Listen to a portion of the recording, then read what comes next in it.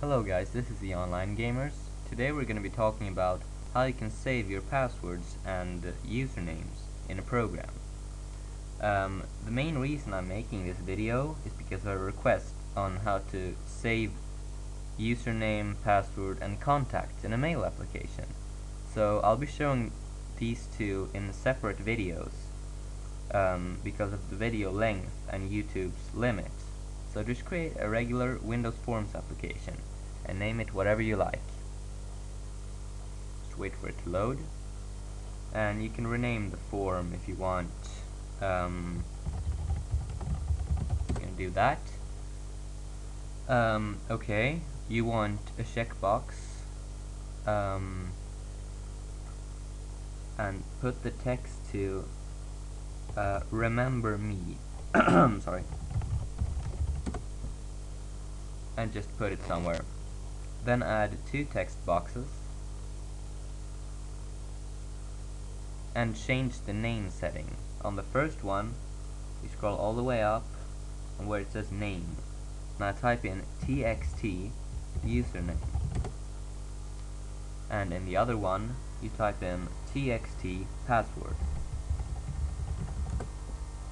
Okay. Um, now what you want to do is you want to go to the where it says file edit project view yeah etc and you want to click project and saving no the properties the one on the bottom.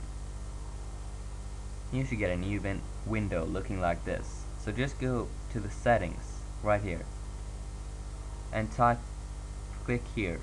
Uh, type in username still a string and password which should also be a string. Now just close this tab and click save, yes. Okay, now what we want to do is create a new form closing event. So we double click the form to get the form 1 load event and then click on the little arrow up here. We scroll up till it says form closing, not closed, but closing. Actually, I don't know if it matters, but I just use closing.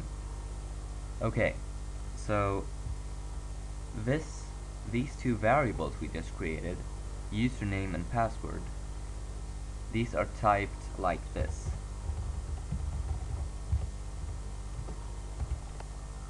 my.settings.username. Okay, so what we want to do is if checkbox 1 dot checked is true. So if this checkbox is checked we want my dot settings dot username to be txt username dot text which is basically the text in the username text box. And we want to make a new line and type in my.settings.password is txt password.text. Okay, so and we want to make an else um, else my.settings.username is nothing my.settings.password is nothing. Okay, so if the user has checked this when closing the program, it will automatically um, save it. Um, save your username and password. If not, it will clear it.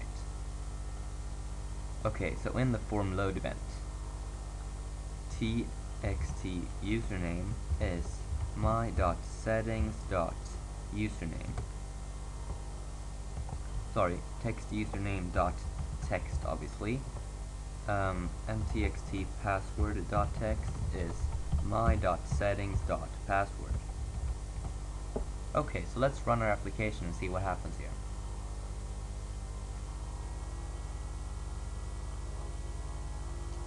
Okay, so we want to type in a username here. And let's type in password here. Now, let me just copy this. Uh, if we close it without saving, when we run the program, it doesn't remember you. So let's just try doing that again, but checking this one. And now we close the program. We run it again and you see that it has saved the password.